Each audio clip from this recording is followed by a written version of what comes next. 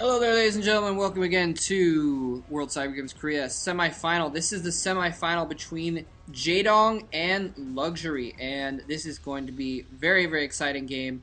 Um, basically, let me put this way. Okay, so who's the best Zerg versus Zerg in the entire world? Jaedong, without a doubt.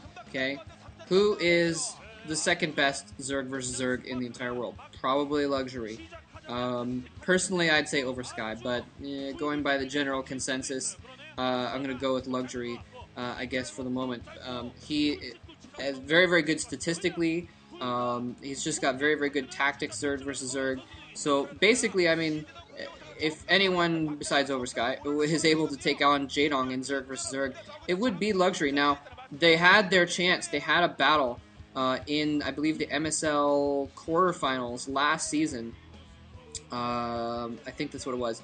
And uh, everyone said, okay, wow. So if anyone has a chance of taking down Jaedong, it's Luxury. He, well, eh, there's a couple people that thought I had a chance. But, uh, I mean, he was...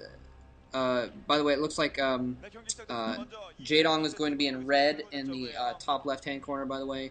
Uh, Luxury is going to be in teal in top right-hand corner. And uh, both players setting their overlords the correct direction already. So, so this is going to come down completely to tactics here because they're both there's no one's going to have a luck advantage or a position advantage or anything like that uh, at this point. Um, in any case, yeah, both these players did square off, and uh, it was a really big deal because it was the two Zerg, basically number one and number two Zerg versus Zerg, versus Zerg. and uh, people thought that Luxury had a chance, but he got completely wiped out uh, 2-0. Uh, Jaedong taking 2-0 uh, against uh, Luxury there and, and just completely proving his dominance of Zerg versus Zerg. Um, I mentioned Oversky because he's actually the only one. He's the only Zerg to beat Jaedong like in the last um, like six months or something ridiculous like that. I mean, he's Jaedong is I think gone, uh, you know, like 14 and one or something like that. Uh, so it's pretty ridiculous. Jaedong going for uh, looks like a nine pool here, by the way.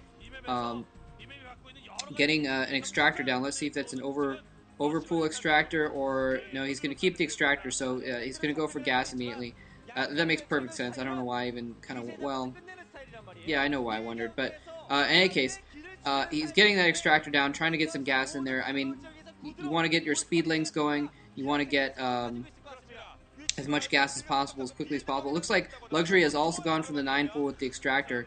Uh, it looks like uh, let's see, one, two, yeah, one, two, three, four, five, six, yeah. Looks like he did the same thing. So both players about even here, uh, or actually exactly even. I thought their uh, luxury was a little bit ahead for some reason, but it looks like they're exactly even.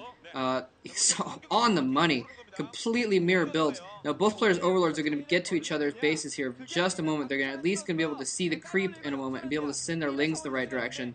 Um, this is this is Troy, and so I wouldn't be surprised if one or the other player tries to maybe lock uh, their opponent in by uh, uh, you know attacking down the assimilators or something like that. That might be a tricky thing that one could do. It also might end up being defense mechanism. Let's see what they do. Now both players haven't quite seen the creep yet for the other player's base, so they're sending their Zerglings more toward the middle, I think.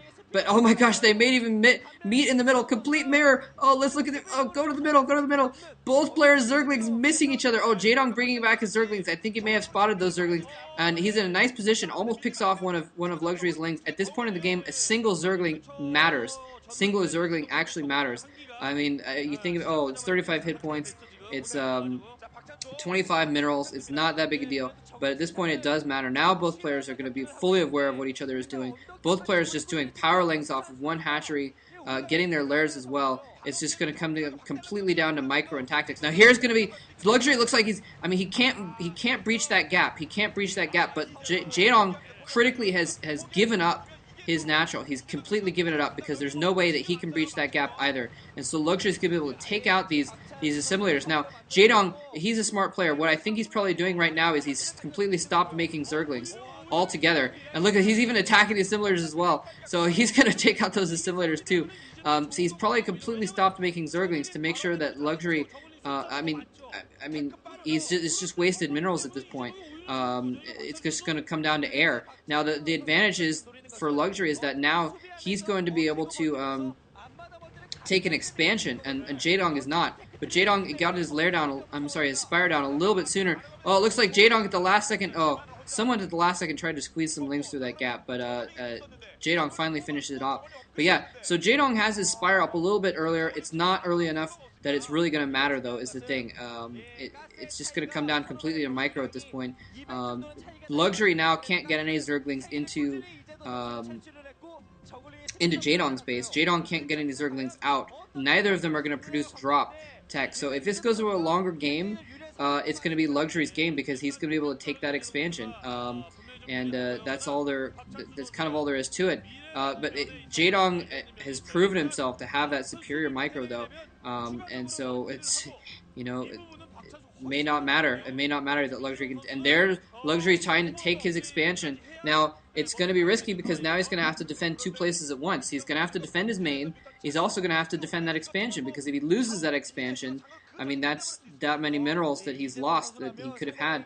Um, Jaedong going for Scourges. Jaedong going for a complete flight of Scourges early on. He's going to try and just completely take out uh, Luxury's air, uh, uh, Luxury's um, air units as soon as they pop out here. Scourges are on route. He's he's got it. Oh my gosh, he's got his Spire up earlier. I didn't think it was going to matter that he got up earlier. He may be able to take out. Oh my goodness, he may be able to take out take out Luxury's. Uh, uh, as soon as they oh Scourges pop Scourges pop for um for luxury Scourges is completely suiciding against each other. Luckily for luxury he didn't produce Mutalisk. There goes one Mutalisk and now a Jaedong beautiful move by him uh, getting the Scourge and he's gonna try and attack the other Mutalisk it pops out. Um, to try and, and then now he, then he can get this the last hit in. So now uh, luxury trying to pick off. Oh no, Jaedong, go in, pick off that Mutalisk. He's trying to try and pick off that Scourge because he cannot lose. And Jaedong knows he has a little bit of advantage here with that extra Scourge and the, and the Mutalisk with one hit left on it. Now Jaedong coming in with a second Mutalisk here, and it, it, just Luxury desperately needs to take out that Scourge. Then he'll have a slight advantage. Um, but it looks like he did take manage to take out um, that Mutalisk of, of Luxuries. And Jaedong just coming in from all sides.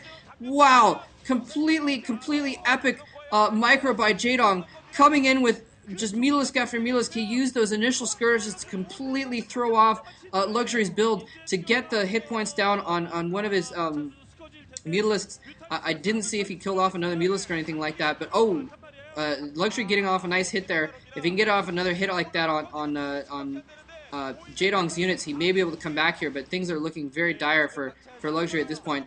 Um, he's Jaedong just has too many Mutalisks uh, grouped up now that he's able to pick off Scourges very easily. It looks like Jaedong is going to take game one. He's going to lose a Mutalisk here in a moment if uh, if Luxury targets it properly, which he's not. But um, basically, I mean, Jaedong went in with those Scourges. He hit the Mutalisk with the Scourge, which lowered its life down almost to nothing, and, and, and was then able to pick off. So it becomes extremely cost effective if you can hit with one Scourge and then finish off with Mutalisk Fire. Um, oftentimes you'll see players use two Scourges to take out a Mutalisk just because it's quick and it gets rid of that Mutalisk very easily.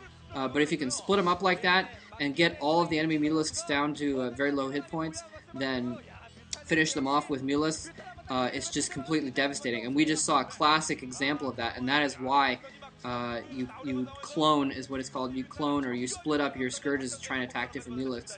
So Jaedong, despite having a little bit of a disadvantage getting pinned into his base early, complete air micro superiority takes game one.